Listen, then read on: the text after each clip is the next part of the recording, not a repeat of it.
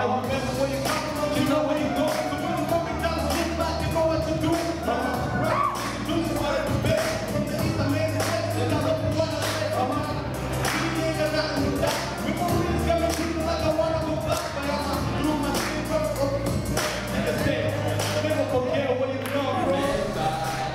work is done by professional artists and students.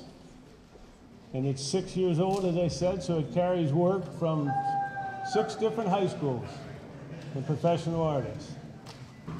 And it is about a global family.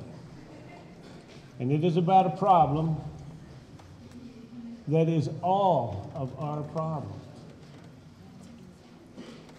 Yeah, that's a downer after the dance.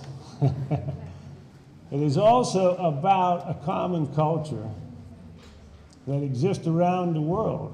Excuse me. And the students find it out that the Congo is far closer to them than they could possibly imagine. And that the people that they worked for when they did this exhibit are their own family. And then they find out that the problems that we talk about aren't all 12,000 miles away. They're right across the street. And that is the most important thing that we all learn from this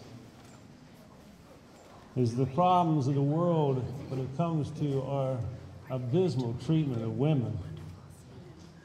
Yeah, that's everywhere. That's right here. So, what we also find out is that we have a lot to say.